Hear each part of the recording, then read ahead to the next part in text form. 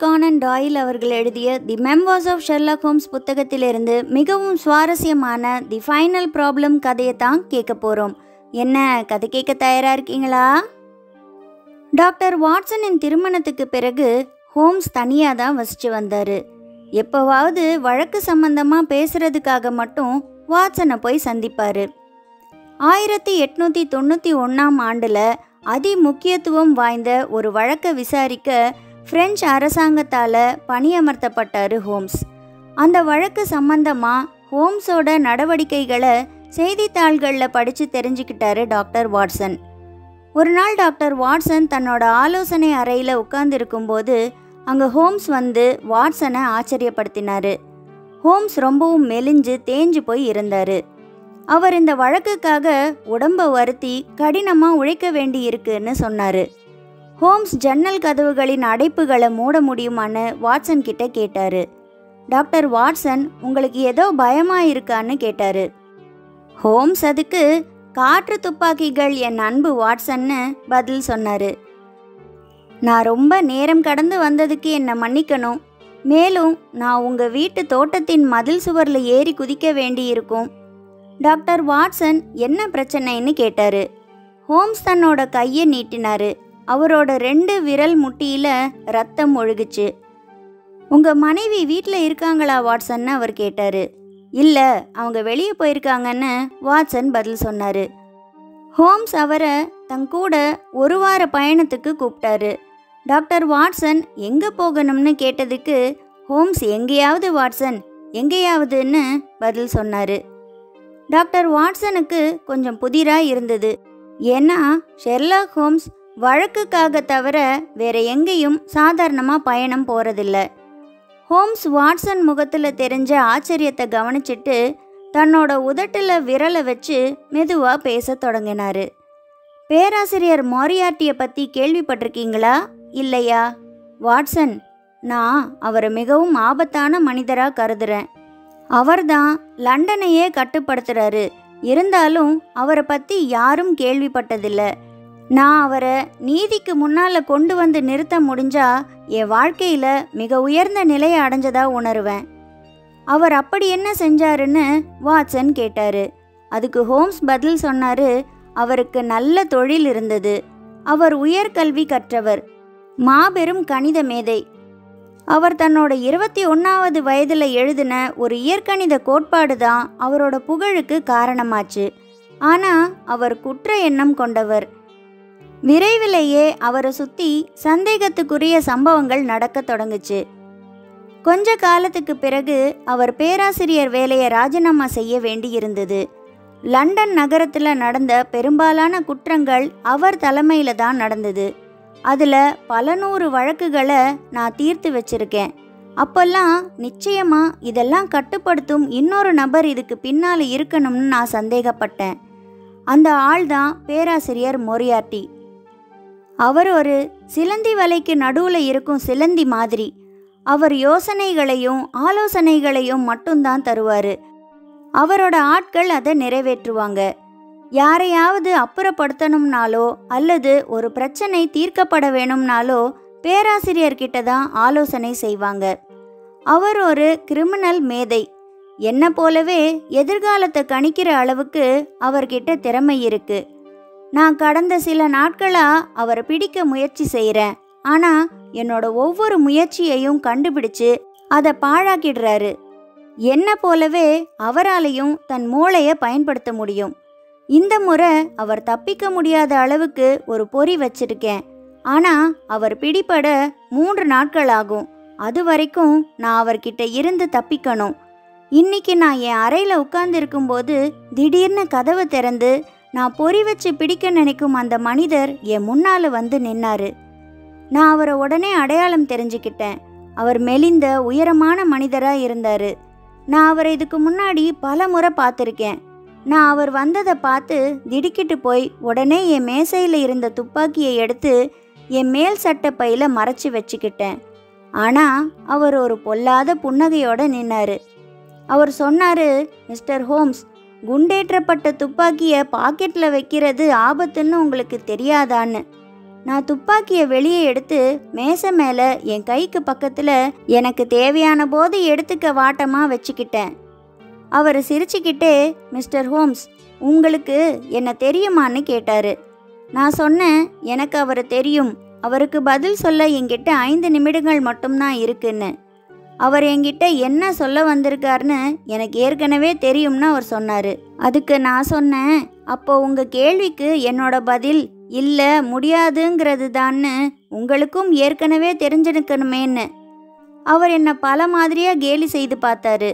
உங்களுக்கு தெரியுமா வாட்சன் இந்த மனிதர் ஒருத்தரை பயமுறுத்தினார்னா அதை தீவிரமாக எடுத்துக்கணும். ஏன்னா அந்த அளவுக்கு அவர் மிகவும் மோசமான ஆள். ஆனால் நான் பயப்படலை. திங்கக்கிழமைக்கு பிறகு அவரை தொந்தரவு செய்வதை நிறுத்திடுவேன்னு சொன்னேன். அவர் காவல்துறை கிட்ட ஒப்படைக்கப்பட்டதும். அவர் தன் பேண்ட் பாக்கெட்டில் கைகளை விட்டுட்டு என்னை கேலியாக பார்த்தாரு. நான் என் துப்பாக்கியை கையில் பிடித்தேன் அப்போ அவர் சொன்னார் ஹோம்ஸ் நீங்கள் ஜனவரி நாலாம் தேதி என் வழியில் குறுக்கிட்டீங்க. அதே மாதம் இருபத்தி மூணாம் தேதி மறுபடியும் அதையே செஞ்சீங்க. பிப்ரவரி மாதத்தின் நடுப்பகுதியில் நான் உங்களை என் பாதையில் இருந்த ஒரு தடையாக பார்த்தேன். மார்ச் மாதம் உங்களை அப்புறப்படுத்தணும்னு முடிவு செஞ்சேன். ஏப்ரலில் நான் அப்படியே செய்வேன். ஆனாலும் பிடிவாதமாக நான் அவரையே பார்த்துக்கிட்டு இருந்தேன். அது அவரை இன்னும் கோபப்படுத்துச்சு. அவர் சொன்னார் மிஸ்டர் ஹோம்ஸ் நீங்கள் என்னை அழிக்க முனைந்தா நான் உங்களை முதல்ல அழிச்சிடுவேங்கிறத நிச்சயமாக்கிக்கோங்கன்னு சொல்லிட்டு அவர் கிளம்பிட்டாரு. அவர் போனதுக்கப்புறம் நான் எழுந்து ஆக்ஸ்ஃபோர்ட் தெருவுக்கு ஒரு வேலை விஷயமா வெளியே போனேன். நீங்கள் சொல்லலாம் நான் முதல்ல போலீஸ் நிலையத்துக்கு போயிருக்கணும்னு. ஆனால் மொரியார்டி ரொம்ப சாமர்த்தியமானவர். அவர் எந்த தடயத்தையும் விட்டு போகிறதில்ல நான் ஆக்ஸ்ஃபோர்ட் தெருவோட முனையை கடக்கும்போது ரெண்டு குதிரை வண்டிகள் என்னை நோக்கி விரைந்து வந்தது. என் உள்ளுணர்வு ஏதோ சொல்ல நான் குதிச்சு ஓரமாக போனேன். அந்த வண்டிங்க என் மேலே ஓடலை அவ்வளோதான் நான் அங்கிருந்து எழுந்தப்போ ஒரு செங்கல் நான் ஒரு நொடிக்கு முன்னாடி நின்ன இடத்துல கீழே விழுந்து நொறுங்குச்சு. நான் போலீஸை கூப்பிட்டு அந்த இடத்த சோதனை செய்ய வச்சேன். ஆனால் அங்கே மேல் மாடியில் ஏதோ கட்டுமான பணி நடப்பதா அவங்க கண்டுபிடிச்சு சொன்னாங்க. ஒரு தளர்வான கல்லை காற்று கீழே தள்ளி இருக்கும்னு போலீஸ் சொன்னாங்க. நான் அதுக்கப்புறம் என் சகோதரன் மைக்ராஃப்ட் ஹோம்ஸோட அறைக்கு போய் அங்கே ஒரு நாள் தங்கினேன். இங்கே வர வழியில் ஒரு துஷ்டன் என்னை தாக்க முயற்சி செஞ்சான். நான் அவனை ஓங்கி குத்திட்டு வந்தேன். அதான் என் கைவிரல் முட்டியில் ரத்தமாக இருக்கு இப்போ உங்களுக்கு புரிஞ்சிருக்கும் நான் ஏன் ஜன்னல்களை அடைக்க சொன்னேன் மற்றும் சுவர் வழியாக ஏறி குதிச்சு போகிறதா சொன்னேன்னு. ஹோம் சொன்ன கதையை கேட்டதும் டாக்டர் வாட்சனுக்கு ஆச்சரியமாகவும் தன் நண்பனை நினச்சி கவலையாகவும் இருந்தது. நீங்கள் என் வீட்லேயே இன்று இரவு தங்குறீங்களான்னு வாட்சன் கேட்டார். ஆனால் ஹோம்ஸை விருந்தாளியாக வீட்டில் தங்க வைக்கிறது வாட்சனுக்கு மிகவும் ஆபத்தானதுன்னு ஹோம் சொல்லிட்டாரு. ஆனால் நீங்கள் நாளைக்கு கண்டிப்பாக என் கூட வருவீங்க. உங்கள் பயண மூட்டைகளை தயார் செஞ்சு இன்னைக்கு ராத்திரியே ரகசியமாக விக்டோரியா ரயில் நிலையத்துக்கு வண்டியில் அனுப்பி வச்சிருங்கன்னு சொன்னார். நாளைக்கு காலையில் லோதர் ஆர்கேடுக்கு நீங்கள் டாக்ஸி எடுங்க. இந்த துண்டு சீட்டில் இருக்க முகவரியை டிரைவர் கிட்ட கொடுங்க. அப்புறம் நீங்கள் ஆர்கேடில் இறங்கி ஒன்பதே கால் மணிக்கு மறுபக்கத்துக்கு ஓடிப்போங்க அங்கே உங்களுக்கு ஒரு வண்டி காத்துக்கிட்டு இருக்கும். சிவப்பு காலர் வச்ச கருப்பு மேலாடை போட்ட நபர் வண்டியை ஓட்டுவார்.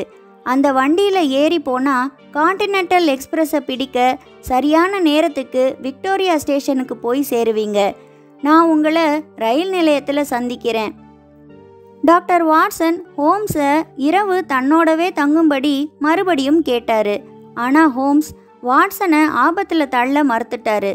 அவர் பின் சுவரில் ஏறி குதிச்சு மறைஞ்சு போனார். அடுத்த நாள் காலையில் ஹோம்ஸ் சொன்னபடியே வாட்சன் வண்டியில் ஏறி லோத்தர் ஆர்கேடுக்கு போய் மறுபுறத்துக்கு ஓடி அங்கே அவருக்காக காத்திருந்த வண்டியில் ஏறி விக்டோரியா ஸ்டேஷனை அடைஞ்சாரு.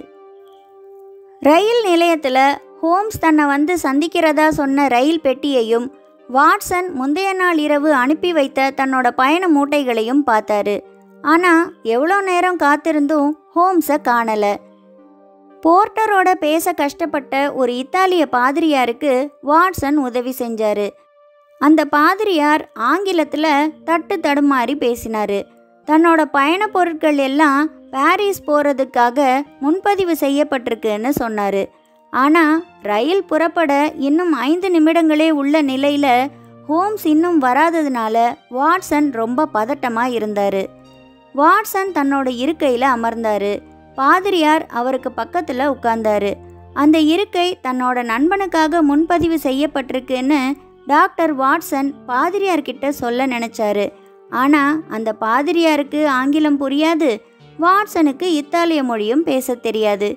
அதனால அவர் அங்கே உட்கார விட்டுட்டாரு. ஹோம்ஸ் வந்ததும் பாதிரியார் அங்கிருந்து எழுந்து போயிடுவாருன்னு வாட்சன் நம்பினாரு. விசில் ஊதி ரயில் நகரத் தொடங்குச்சு. ஹோம்ஸ் இன்னும் வராதது வாட்சனுக்கு வருத்தத்தை உண்டாக்குச்சு. ரயில் வேகம் எடுக்க தொடங்கினதும் அந்த பாதிரியார் வாட்சனை திரும்பி பார்த்து ஏன் எனக்கு குட் மார்னிங் கூட சொல்லலைன்னு கேட்டாரு. டாக்டர் வாட்சன் ஆச்சரியத்தோட அந்த பாதிரியாரை பார்த்தாரு. அவரோட சுருக்கமான முகம் மறைஞ்சு அங்கே ஷெர்லாக் ஹோம்ஸ் இருந்தாரு. ஹோம் சிரிச்சிட்டு சொன்னாரு உங்களை ஏமாத்தி விளையாடினதுக்கு என்னை மன்னிச்சிடுங்க. ஆனா நான் நிச்சயமா மாறு வேடத்துல தான் இருந்திருக்கணும். கொஞ்சம் வெளியே எட்டி பாருங்க. பேராசிரியர் மொரையாட்டிய நீங்களே பாப்பீங்க. கண்ணிமைக்கிற நேரத்துல நாம தப்பிச்சிட்டோம். டாக்டர் வாட்சன் ரயில் நிலையத்தை எட்டி பார்த்தாரு. அங்கே ஒரு உயரமான மனிதர் அங்கிருந்த எல்லாரையும் தள்ளிக்கிட்டு நடைமேடைக்கு முந்திக்கிட்டு வந்து கோவத்தில் தன் முஷ்டிகளை அசைச்சாரு. ஆனால் ரயில் வேகம் எடுத்து பேராசிரியரை ரொம்ப தூரம் பின்னுக்கு தள்ளிடுச்சு. வாட்சன் நீங்கள் செய்தித்தாளை படிச்சீங்களா? பேக்கர் தெருவில் நடந்த தீ விபத்தை பற்றி நீங்கள் அதில் பார்த்தீங்களான்னு ஹோம்ஸ் கேட்டார். டாக்டர் வாட்சன் இல்லையேன்னு பதில் சொன்னார். அவங்க நம்ம அறைகளுக்கு தீ வச்சிட்டாங்கன்னு ஹோம்ஸ் சொன்னார். டாக்டர் வாட்சன் அதிர்ச்சி அடைஞ்சார். அப்புறம் ஹோம்ஸ் கேட்டார் நீங்கள் வந்த வண்டியின் ஓட்டுநரை நீங்கள் அடையாளம் தெரிஞ்சுக்கிட்டீங்களா? அது என் சகோதரன் மைக்ராஃப்ட் ஹோம்ஸ் தான். ஆனால் இப்போ நாம நம்மோட எதிரி பேராசிரியர் மொரையாட்டிய என்ன செய்கிறதுங்கிறத பற்றி யோசிக்கணும். நம்ம ரொம்ப ஜாக்கிரதையாக இருக்கணும். ஏன்னா அவர் ஏன் அளவுக்கு திறமை வாய்ந்தவர்னு நான் ஏற்கனவே உங்ககிட்ட சொல்லியிருக்கேன். நாம் எடுக்கிற நடவடிக்கைகளை ஒருவேளை அவரும் எடுப்பார். நாம் கேண்டர்பரியில் இறங்கி நியூ ஹேவனுக்கு வேறு ரயிலை பிடிச்சு அங்கிருந்து டீப்புக்கு போவோம். மொரையார்டி நான் புத்திசாலித்தனமாக அனுப்பி வச்ச பயண மூட்டைகளை பின்தொடர்வார். அதுக்குள்ளே நாம் லக்ஸாம்பர்க் மற்றும் பேல் வழியாக சுவிட்சர்லாந்து போயிடுவோம். அவங்க திட்டம் போட்டபடி கேண்டர்பரியில் இறங்கினாங்க. அடுத்த ரயில் இன்னும் ஒரு மணி நேரத்தில் வரும்னு தெரிஞ்சுக்கிட்டாங்க. டாக்டர் வாட்சன் அவங்க வந்து இறங்கின ரயிலையே பார்த்துக்கிட்டு இருந்தாரு. ஏன்னா அவரோட பயண மூட்டைகள் அந்த ரயில்லையே இருந்தது. அதை மொரியாட்டி பின்தொடர்வாருங்கிற நோக்கத்தோட தான் அது விட்டுட்டு வரப்பட்டது. அவங்க தண்டவாளத்தை பார்த்தாங்க. இன்னொரு ரயில் அவங்க வந்து இறங்கின ரயில் போகிற அதே திசையில் ஆரவாரத்தோட வந்து நின்னது. அவங்க இன்னும் சில பயண பெட்டிகளை அங்கேயே மறைச்சி வச்சாங்க. ஹோம் சொன்னாரு அதோ மொரியாட்டி நம் பயணப் பொருட்களை தொடர்ந்து போறாருன்னு. அவங்க புருசல்ஸ்க்கு போய் அங்கே இரண்டு நாட்கள் தங்கிட்டு பிறகு ஸ்ட்ராஸ்பர்க் போனாங்க. திங்கள்கிழமை காலையில் லண்டன் போலீஸ்க்கு தந்தி அனுப்பினாங்க. அன்று மாலை அங்கிருந்து பதில் வந்தது. ஹோம்ஸ் அதை படிச்சுட்டு மனம் தளர்ந்து போனாரு. அந்த தந்தியை நெருப்பில் கசக்கி போட்டுட்டு அவர் தப்பிச்சிட்டாரு. போலீஸ் மொரியாட்டியோட கூட்டாளிகள் அத்தனை பேரையும் பிடிச்சிட்டாங்க. ஆனால் அவர் மட்டும் தப்பிட்டாரு. வாட்சன் நீங்கள் இங்கிலாந்துக்கு திரும்பி போகணும்னு நான் நினைக்கிறேன். நீங்கள் இப்போ என் கூட இருப்பது உங்களுக்கு ஆபத்து. பேராசிரியர் இப்போ கிட்டத்தட்ட எல்லாத்தையும் இழந்துட்டாரு. அவரோட கூட்டாளிகள் அவரோட சுதந்திரம் போலீஸ் அவரை தேடிட்டு இருக்கு. அவர் என்னை அழிக்க ஒரு சிங்கம் போல பின்தொடர்ந்து வருவார். ஆனால் டாக்டர் வாட்சன் போக மறுத்துட்டாரு. அவங்க ஸ்ட்ராஸ்பர்க்லேருந்து கிளம்பி ஜெனீவாக்கு போனாங்க. அவங்க ஐரோப்பா கண்டத்தையே சுற்றி வந்து அழகான கிராமப்புறங்களை ரசிச்சாங்க. ஹோம்ஸ் மன அழுத்தத்தில் இருக்காரு. அவர் இந்த பயணத்தை விரும்புவார்னு நினச்சாரு வாட்சன். அவங்க ஒரு மலைப்பாதையில் நடந்து போகும்போது ஹோம்ஸ் சோதனை செய்துக்கிட்டு இருந்த இடத்த நோக்கி ஒரு பெரிய கல்பாறை உருண்டு வந்தது. அவர் வாட்சனை பார்த்து சிரிச்சாரு. அவங்க ரெண்டு பேருக்கு மட்டும்தான் தெரியும் இது பேராசிரியர் மொரியாட்டியோட வேலைதான்னு. மே மூணாம் தேதி அவங்க மேரிஞ்சன்கிற கிராமத்துக்கு வந்து சேர்ந்தாங்க. அவங்க இங்கிலீஷர் ஹாஃபுங்கிற விடுதியில் ஒரு அறையை வாடகைக்கு எடுத்தாங்க. அடுத்த நாள் அந்த மலையை கடந்து அதுக்கு அப்பால் இருக்கும் ரோசன் லாவிங்கிற அழகான கிராமத்துக்கு போக தயாரானாங்க. இங்கிலீஷர் ஹாஃபோட மேலாளர் மலைகளில் இருக்க ரெய்கன்பர்க் நீர்வீழ்ச்சியை கண்டு ரசிக்கும்படி அறிவுறுத்தினார். அவங்க நீர்வீழ்ச்சியை கடந்து வந்து பயமுறுத்தும் படுகுழிக்குள்ள எட்டி பார்த்தாங்க. நீர்வீழ்ச்சிக்கு போகிற பாதை நீர்வீழ்ச்சியோட நிறுத்தப்பட்டது. வந்த வழியே திரும்பி போகிற ஒரே பாதை தான் இருந்தது. அவங்க வந்த வழியாக திரும்பி நடந்து போகும்போது அங்கே ஒரு சிறுவன் கையில் கடிதத்தோட அவங்கள சந்திக்க விரைந்து வந்தான். ஹோம்ஸ் அந்த கடிதத்தை வாங்கி படித்தாரு அதில் அவங்க தங்கியிருந்த இங்கிலீஷர் ஹாஃப் விடுதியோட குறியீடு இருந்தது. அதோட மேலாளர் தான் அதை எழுதியிருந்தார். அவங்க கிளம்பினதும் அவங்கள சந்திக்க ஒரு ஆங்கிலேய பெண் வந்திருப்பதாகவும் அவங்க ஏதோ கொடுமையான நோயால் தாக்கப்பட்டு தன் வாழ்நாளின் இறுதி கட்டத்தில் இருப்பதாகவும் அவங்க வழியிலிருந்து விடுபட அவசரமாக டாக்டர் வாட்சனை சந்திக்கணும்னும் அவங்க ஒரு முறை திரும்பி வந்து அந்த பெண்மணியை பார்த்துட்டு பிறகு அவங்க ரோசன் லூயி போகிற பயணத்தை தொடர்ந்தா மிகவும் நன்றியுள்ளதாக இருக்கும்னும் அதில் குறிப்பிடப்பட்டிருந்தது. எந்த ஒரு மருத்துவரும் நிராகரிக்க முடியாத கோரிக்கையாக அது இருந்தது. டாக்டர் வாட்சன் உடனே விடுதிக்கு விரைந்து போனார். அவர் போகிற வழியில் தூரத்தில் ஒரு மனிதர் நீர்வீழ்ச்சியை நோக்கி நடந்து வரதை பார்த்துட்டு கவனம் செலுத்தாமல் போயிட்டாரு. வாட்சன் விடுதி மேலாளரை சந்தித்து எங்கே அந்த பெண்மணின்னு கேட்டார். ஆனால் மேலாளருக்கு வாட்சன் எதை பற்றி பேசுகிறாருன்னே புரியலை. மேலாளர் அந்த கடிதத்தை பார்த்துட்டு ஒரு நெட்டையான மனிதர் வந்து கடிதம் எழுத காகிதம் வேணும்னு கேட்டதா சொன்னார். டாக்டர் வாட்சன் அந்த நெட்டையான மனிதர் வேற யாரும் இல்லை பேராசிரியர் மோரியார்டி தான்னு உடனே புரிஞ்சுக்கிட்டாரு. அவர் ரேக்கன்பர்க் நீர்வீழ்ச்சிக்கு விரைந்து போனார். நீர்வீழ்ச்சிக்கு போகிற வழியில் ஹோம்ஸோட கைத்தடி ஒரு சுவரில் சாய்ந்து கிடக்கிறத வாட்சன் பார்த்தாரு. கடிதம் கொண்டு வந்த சிறுவன் மாயமாக மறைஞ்சிட்டான். மாரியாட்டி தான் அந்த சிறுவனை அனுப்பியிருக்கணும். டாக்டர் வாட்சன் அதிர்ச்சி அடைஞ்சாரு. பிறகு அவர் எல்லா இடத்துலையும் பார்க்க ஆரம்பிச்சாரு. அந்த நீர்வீழ்ச்சியின் முனையில விளிம்புக்கு கொண்டு போகும் இரண்டு கால் தடங்களை அவர் பார்த்தாரு.